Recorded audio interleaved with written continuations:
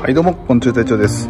え本日はですね、あの、アゲハチョウの幼虫の探し方について、ちょっとテクニックがあるので、紹介していきたいなと思います。まずね、こういうね、金柑の柑橘系の葉っぱを見つけて、はい、いました。ご覧のスポンサーの提供でお送りしました。